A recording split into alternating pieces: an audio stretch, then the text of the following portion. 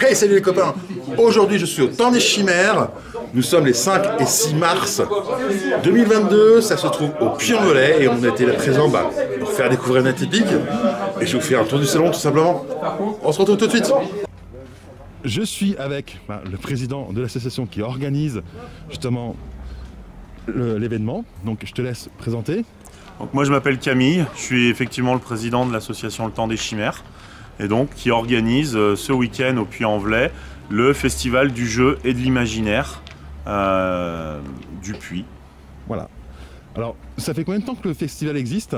Première édition du festival 2014 et c'est la septième édition puisqu'il faut compter les deux trous Covid, Oui. euh, 2020-2021 et donc c'est la septième édition. C'était déjà la septième édition prévue en 2020 mais on a décidé de garder euh, le, le chiffre 7 qui va, qui est maintenant la septième édition effective. Ça marche. Et alors, du coup, en termes de fréquentation, vous êtes à peu près à combien euh, en vue de nez là? Alors euh, sur la journée du samedi, on a fait un petit peu plus de 500 personnes et là ça se remplit tranquillement. On va être, euh, je pense, dans les mêmes eaux pour la journée du dimanche. Là, j'ai pas de de chiffre précis, il est 15h, on Oui. a encore le temps de, Clairement, ouais. de voir les choses, surtout le dimanche. Les gens arrivent plutôt en milieu d'après-midi nous rejoindre. Et donc, euh, on devrait être à peu près dans les mêmes, euh, mêmes chiffres. Oui, ce qui est déjà euh, un bon- des bons chiffres. hein. C'est un très bon chiffre, on est très très content euh, au vu de, du bassin du Puy, de la Haute-Loire, et puis bah, du contexte actuel où Mhm. c'est toujours compliqué pour certaines, enfin, de se retrouver encore. On ne sait pas trop. C'est voilà. la première édition post-Covid. hein. C'est ça, première édition post-Covid, donc on s'est, un peu, voilà, on est dans ce qu'on cherchait d'a- d'avoir et on est très content. Alors là, vous êtes euh, dans, le, dans le centre euh, Pierre Cardinal, euh, qui est, on va le voir, on va faire un petit visuel. Vous verrez, c'est quand même assez chouette et il y a beaucoup de place. Donc en plus, c'est très agréable parce que vous êtes quand même très espacé. Il y a, on se marche pas les uns sur les autres. Ouais. Pour faire pas mal de salons. En plus, c'est pas trop bruyant. euh, Ouais. Voilà, donc c'est c'est pas mal. J'ai encore de la voix, les gars, hein, alors que ça fait deux jours que je suis là. Euh, vous commencez bah, le, mat- le samedi matin à 10h et vous Ouais. fermez à minuit. 10h minuit pour le samedi, 10h, euh, 19h pour le dimanche, Hmm. ce qui fait déjà une bonne amplitude Bonne horaire. amplitude, ouais. euh, voilà, avec les bénévoles doivent quand même pas mal donner de leur temps pour le festival, donc voilà. Alors c'est un festival qui a plusieurs visions des choses en fait. C'est qu'on a une partie famille effectivement, la partie jeux de société est euh, très axée famille, la partie cosplay est aussi axée famille, mais à côté de ça il y a aussi des choses un peu plus euh, initiées on va dire, avec toute une partie jeux de figurines wargame, euh, mais aussi des jeux de rôle avec des grosses parties de jeux de rôle. Il y a aussi des pôles un peu plus spécialisés dirons-nous. Ça marche. Bah, je te propose de faire un petit tour. Ouais. Alors je vais juste vous faire voir un petit peu. Oui, c'est un gros bâtiment. Un très grand bâtiment et c'est très chouette honnêtement. Donc en rentrant dans le bâtiment, la première, euh, le premier pôle en fait vers lequel on va pouvoir aller, c'est le pôle autour des jeux de figurines.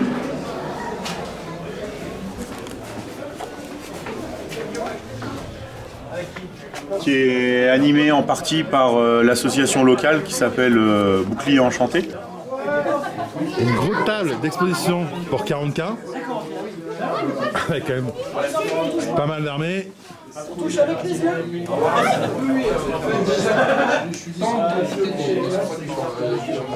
Évidemment, on a notre table net épique avec Oum qui est en train de faire une initiation.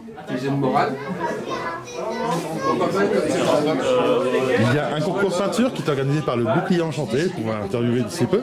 qui est brisé se fait charger par autre chose, elle part automatiquement à jeune bord. Quelques peintres qui bonjour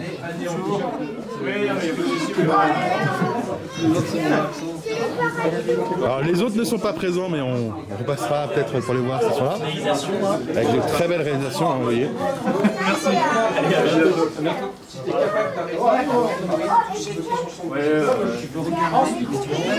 Une table de présentation du Seigneur des Anneaux. Et une petite table de 40K ici.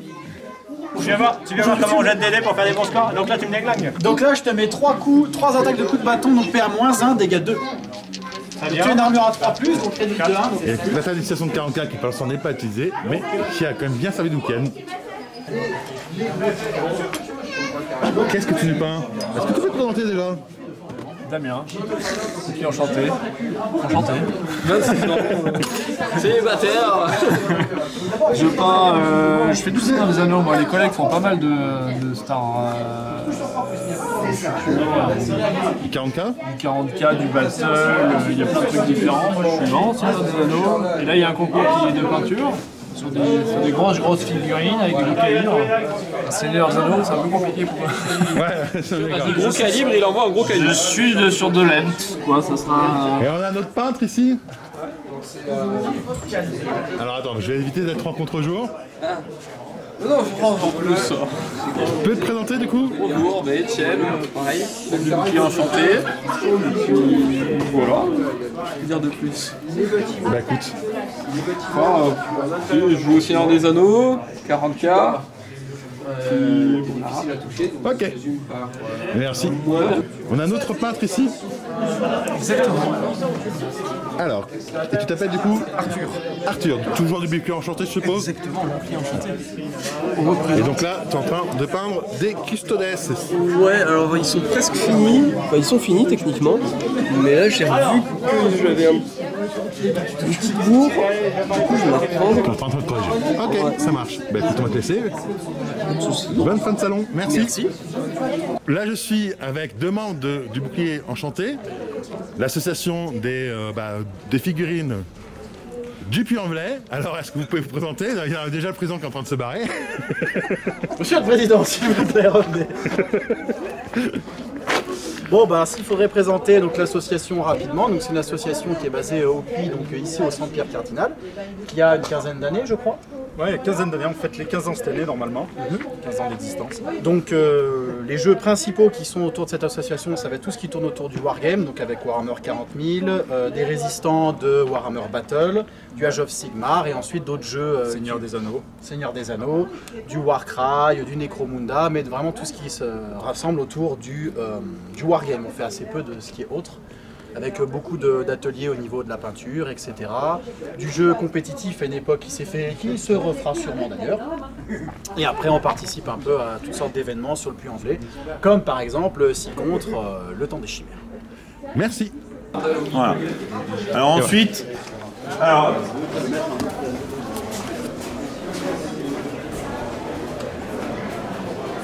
là on arrive sur la grande salle du salon, qui est en fait la salle dédiée à des boutiques, qui est dédiée à notre buvette aussi, et puis à toute une partie jeux de société. Donc on a à peu près une euh, trentaine de tables de jeux de société, une dizaine de tables pour les prototypes de jeux de société. C'est quelque chose vraiment d'important chez nous, de faire en sorte que euh, ben, des créateurs de jeux puissent euh, s'essayer, on va dire, devant du public, euh, du public qui n'est pas leur famille, qui n'est pas un, public souvent acquis. Là, c'est un public euh, de joueurs, d'habitués, et donc qui peuvent euh, des fois donner des bonnes indications euh, Oui, pour améliorer. pour améliorer. euh, donc voilà. Donc là, on voit vraiment le cœur de la partie jeux de société. Donc avec toute une série de bénévoles de plusieurs associations de la Haute-Loire qui viennent nous prêter un, qui viennent nous donner un coup de main et qui vont en fait euh, présenter des jeux, euh, expliquer, euh, et prendre part au tournoi. Et donc on les voit ici en train de jouer. Voilà. Et au fond, au fond, on a un gros partenaire au niveau de l'association qui est la boutique Le Décaféiné, qui est la boutique en fait, qui est le bar à jeux du Puy-en-Velay, qui pendant le salon se délocalise, vide la boutique complètement de la rue Pansac et euh, vient euh, installer sa boutique ici. Donc là, je suis avec Sarah du Décaféiné, qui est un magasin au Puy-en-Velay de, euh, de jeux, un magasin ludique. Du coup, est-ce que tu peux présenter un petit peu euh, le magasin? Alors, on est à la fois boutique et bar à jeux. On a ouvert depuis bientôt trois ans. Euh, et donc on propose ben, tout ce qui va être jeu de société, on va s'adresser enfants, familles, experts, Euh, un petit peu d'accessoires, tout ce qui va être tapis, tout ce qui va dés, etc. Euh, magiques, euh, la peinture pour les figurinistes, et après on a la partie bar, donc on a entre 500 et 600 jeux disponibles pour être sur place. D'accord. Et il y a aussi, bah, en termes de figurines, il y a l'association de bouclier enchanté qui, euh, qui est chez nous. Ouais. On a le bouclier enchanté qui vient de temps en temps pour euh, peindre chez nous, parce qu'on a une super luminosité apparemment. Euh, et du coup, ils viennent voilà, de temps en temps peindre chez nous et on espère un jour pouvoir les accueillir pour faire des parties. Ça marche. Toutes les coordonnées seront en description, donc si vous êtes dans les entours du puy en velay n'hésitez pas à passer au décaféiné. Merci Sarah. Donc, un petit peu le stand. Il y a quelques jeux hein, au décaféiné, mais que quelques-uns. hein. Ouais, ok, d'accord, il y en a une montagne. Euh, voilà. Vraiment, en termes de jeux de société, il y a vraiment ce qu'il faut. Et il y en a peu de peinture. Donc là, c'est un tout petit peu bruyant, mais on est dans la partie jeux de société du salon. Vous voyez, plein de tables différentes. Bonjour, alors bah, on va continuer le reportage. Donc là, on a un atelier. Est-ce que vous pouvez présenter votre stand du coup? Alors, euh, nous, c'est l'Arpec Cosplay. On vend principalement du matériel pour les jeux de rôle grandeur nature, des matières premières pour le cosplay, maquillage, livres pour les crafts, et euh, tout ce qui est l'univers de Serrawin, donc les dragons pour les enfants, avec des œufs pour les aider à grandir plus facilement. D'accord. Alors on va faire un petit tour sur le. Il y a du matos, hein. Il y a vraiment du matos. D'accord, ok. Il y a vraiment du matos. Donc encore une fois, tous les liens seront en description de la vidéo. Donc n'hésitez pas, hein, si vous êtes intéressé, à les contacter. On va continuer notre reportage. Bonjour, alors qu'est-ce que quel est ce stand? C'est le stand de Labo Kerlaft avec euh, votre hôte Kerlaft le magicien, qui vous présente tout un tas d'objets magiques euh, d'inspiration geek et rôliste. Il y a des potions, il y a des bijoux, il y a tout un tas d'objets euh, qui sont vraiment l'essence de la culture geek et surtout du jeu de rôle. D'accord. Alors je vais faire un petit tour sur le stand. J'adore cette. Magnifique.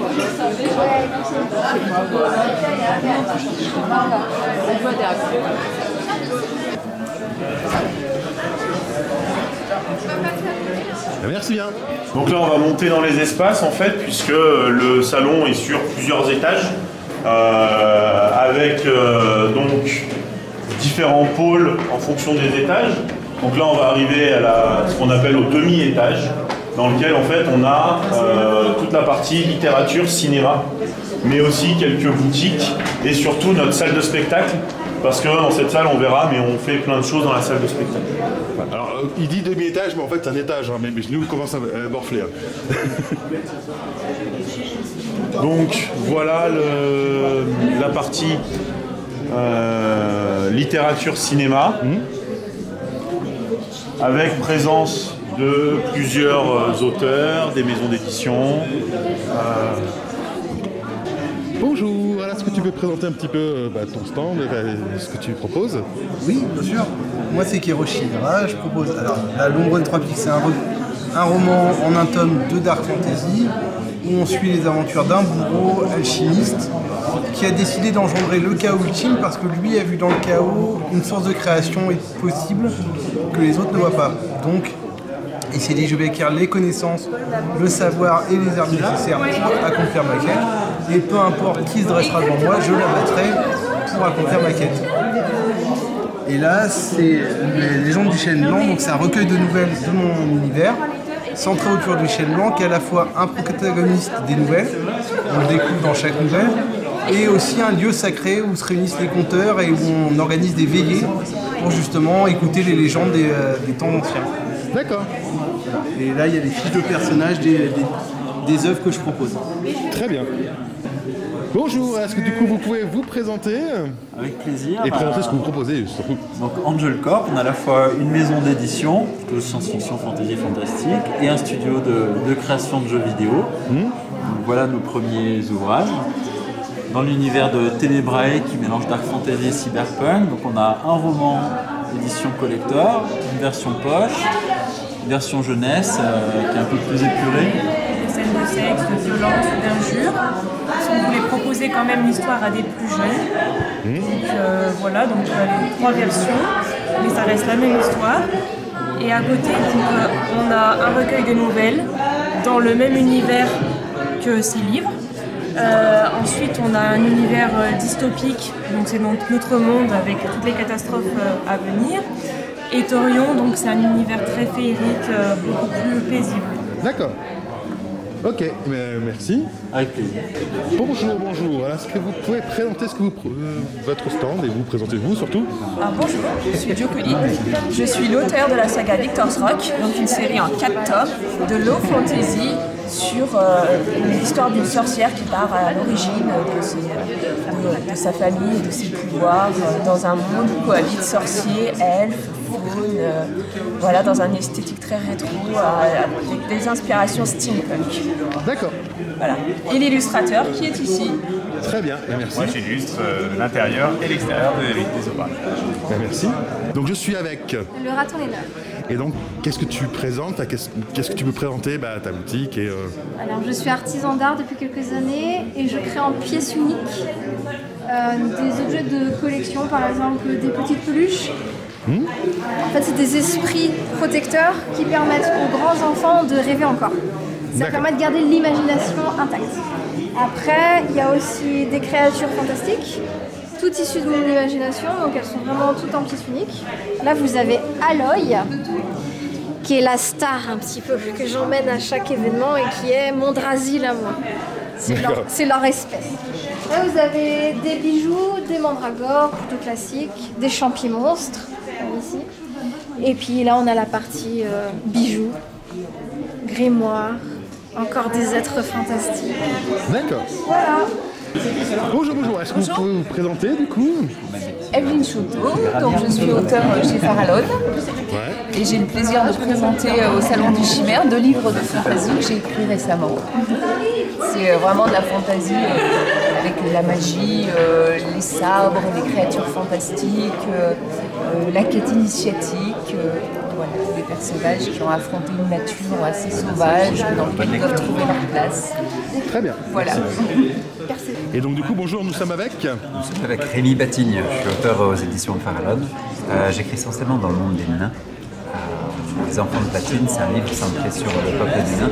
C'est de l'héroïque fantasy épique, c'est de l'héroïque fantasy euh, inspiré de Tolkien, de Bob Salvatore, c'est aussi de l'héroïque fantasy euh, dans lequel j'ai mis ma petite patte, parce que moi je viens de Saint-Etienne, un endroit où on a beaucoup creusé. C'est très bien Saint-Etienne. C'est extrêmement Saint-Etienne. voilà, donc c'est le. Et si d'aventure vous venez me voir en salon, euh, je vous ferai un petit, euh, le petit cadeau d'un sous-verre à bière qui n'attend que vous et qui vous fera euh, passer de bons moments en compagnie des nains de platine. D'accord.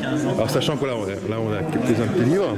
Alors on a effectivement, j'ai pas que des nains, je travaille aussi sur les, les mythes grecs, j'essaie de les vulgariser, c'est de les transmettre parce que c'est une culture commune qui est très très importante, je pense pour tout le monde. On a beaucoup de choses à apprendre des mythes grecs et parfois c'est un petit peu indigeste de lire Homère par exemple. Oui, surtout qu'en plus, euh, il- suivant les auteurs, c'est pas la même chose. Exactement, donc euh, j'essaie justement de les, euh, les- les offrir à tout le monde, de les faire partager à tout le monde et c'est un peu, c'est un peu ma marotte hein, de, ce moment. D'accord. Alors là, je suis avec. Gauthier Durieux de Madron, auteur de romans fantastiques et épiques. D'accord. Et ben, on va faire un petit tour sur les différents livres. Donc, est-ce que tu peux te présenter un petit peu ton univers? Alors, mon univers, pour faire très simple, il s'agit d'une revisite des mythes antiques qui ont existé sur notre Terre dans un contexte de crise internationale. Euh, remise au goût du jour de toutes les mythologies classiques afin de les faire découvrir à un plus large public. Très bien. Ben, je te remercie. Elle est libre. Et bonjour Bonjour. Alors, est-ce que tu peux te présenter du coup? Eh bien, moi, je m'appelle Émilie et je représente 3ME Création, qui est mon entreprise. Mmh. Et donc, je fais bah, des stickers, des accessoires, des bijoux d'oreilles, principalement. Ah, Voilà. Alors, je vais juste zoomer un petit peu. Vas-y. Voilà. C'est bon. Et je fais également bah, d'autres diverses boucles d'oreilles, quelques créatures, ainsi que, voilà, des bagues complètement flexibles, par exemple. Ah ouais, sympa. Voilà. Merci. Bah, merci à vous.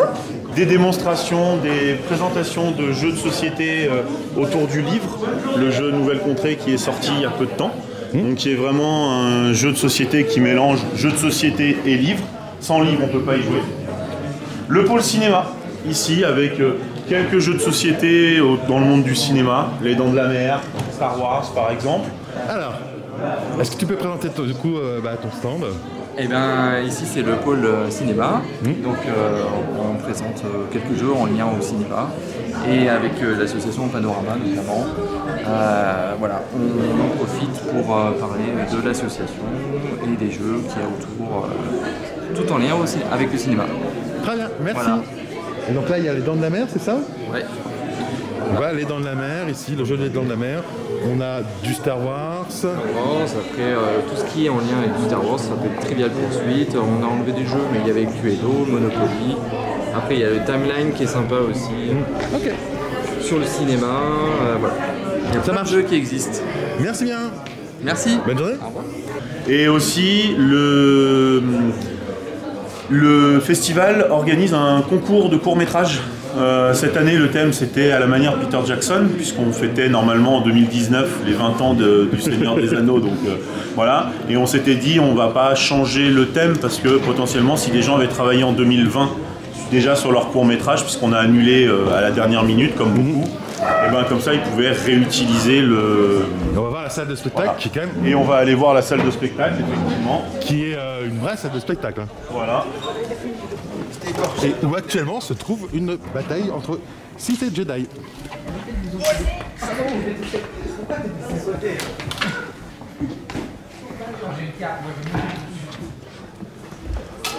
Donc euh, là, on se voit plus, mais. On se voit plus, mais on voit les sabres. Oui, c'est c'est ce qui compte en même temps. hein. C'est de voir les sabres. C'est ça. Donc là, c'est là, ce sont deux, deux associations, donc une lyonnaise et une du Puy, c'est ça? Euh, alors là, non, il n'y a que l'association, il me semble, du Puy, euh, les cadets du Velay, en fait, qui euh, font une démonstration euh, d'escrime Jedi. Et donc là, je suis avec Flo, qui est membre de l'association de sabre. Bah, qui s'appelle Les Cadets du Velay, donc, euh, qui est là-bas donc un club d'escrime et depuis le mois de septembre, on- donc, il y a une section euh, sabre laser donc, qui imite les, euh, les films de Star Wars. Donc, il y a on va dire, trois grands pôles. C'est le combat sportif qui se fait en, en casse-point avec des touches. On a des protections, des casques, des genouillères, des coudières, des placerons. Voilà, et donc le but étant de faire 15 points avec les différentes parties du corps, c'est-à-dire la tête et le corps, c'est 5, les bras et les jambes, c'est 3, et les mains et le sabre, enfin le manche du sabre, c'est 1 point. Voilà. Ensuite, nous avons les katas, qui sont en fait des enchaînements techniques comme on peut en voir dans d'autres arts martiaux, voilà, qu'on apprend et qui sont individuels. Et vous avez aussi le combat chorégraphié, qui est là en fait un combat que les deux participants en fait s'entraînent, euh, mémorisent pour faire quelque chose de artistique. D'accord. Et la dernière variante est le combat ludique, qui lui est un combat par équipe, qui reprend les, les règles des touches du combat euh, sportif, mais avec en plus l'attrait de. On, fait, on simule les pouvoirs, euh, les forces, donc, euh, des éclairs, la rapidité, les soins, tout ça. Voilà. Très bien. Merci bien. Donc, Ah, de encore rien. une fois, tous les liens seront en description. C'est ça. Et puis à plus. Au revoir. Et donc, on va continuer notre montée, mais genoux vont continuer de s'offrir. hein. Il y a d'un côté les jeux de société et de l'autre les figurines. On va arriver sur la partie euh, autour des escape, euh, escape box, puisqu'on a une association partenaire du temps des chimères qui nous met en place une, euh, une escape box en autonomie, où des gens peuvent, pendant une demi-heure, faire une escape. Alors là, ils sont en plein, on va pas les déranger. En plein dedans, ils sont en train de, ils sont enfermés dans une salle. hein, c'est le principe d'une escape. Voilà, et on va aller voir. Et là, il y a des personnes qui attendent pour euh, aussi souffrir. Et là, Mais on vous, va- vous, vous avez conscience que vous allez souffrir. Et donc là, on va arriver au niveau du, du pôle autour de la partie euh, cosplay. Alors, du coup, là, je suis avec Cynthia qui s'occupe du du pôle cosplay. c'est ça, avec Tiff. euh, Voilà. Donc, euh, bah, est-ce que tu peux me présenter un peu, petit peu plus ce pôle cosplay Parce qu'on a expliqué un peu rapidement. Mais... D'accord, bah, le pôle cosplay, euh, comment t'expliquer euh, C'est le costume et le jeu qui sont euh, ensemble, ils sont fusionnés, on va dire. Euh, on fait des costumes dans n'importe quel euh, domaine. Bon, on a du manga, on a, on a du Star Wars, on a des films, des dessins animés, enfin on a vraiment de tout. Euh, les gens viennent, choisissent euh, là-bas, je sais pas si tu as vu, euh, 8 fonds, choisissent Mhm. celui qu'ils préfèrent, le costume qu'ils veulent. Dans, bah, ils peuvent mélanger, il n'y a pas de souci. On vient ici faire une photo sous fond vert. Voilà. Et quand le fond, la photo est faite, on va sur ordinateur et on modifie tout sur euh, Photoshop et on les incruste dans le fond qu'ils ont choisi. Et là, ils ont leur photo et ils repartent avec le sourire. Ouais, écoute. Autre chose à rajouter? Non, on s'éclate. Et faut continuer comme ça. Merci bien en tout cas, et puis merci pour tout. À plus Pas de rien. À plus. Tout au long des espaces de, de circulation du festival, on a mis en place des boîtes de jeux, euh, du jeu micro-macro, en fait, qui est un jeu, euh, en une sorte de jeu d'enquête où est Charlie, euh, où on va aller de bonhomme en bonhomme en trouvant des indices. Et ça permet vraiment aux gens, ben, quand ils sont dans les espaces, dans les couloirs, de, de, jouer un petit peu, un petit peu et de patienter. Si par exemple comme à côté il y a un peu d'attente sur l'escape et ben voilà. On va monter sur la dernière partie. Alors qui là est la partie euh, volontairement isolée du festival simplement parce que euh, c'est la partie où se déroulent les tournois de jeux de société mais aussi les parties de jeux de rôle. Et donc on va aller voir là normalement à cette heure là il y a le tournoi de Splendor qui aura lieu qui a lieu